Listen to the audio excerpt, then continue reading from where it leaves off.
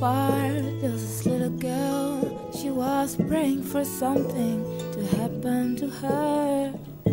Every day she writes words and more words just to spit out the thoughts that keep floating inside. And she's strong when the dreams come, cause they take her, cover her, they are all over. The reality looks far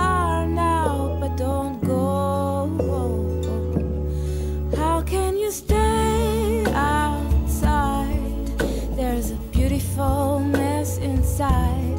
How can you stay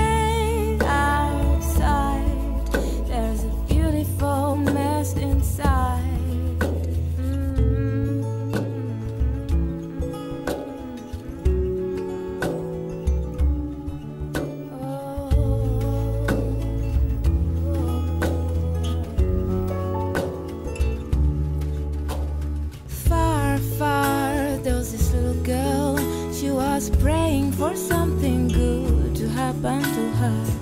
From time to time, there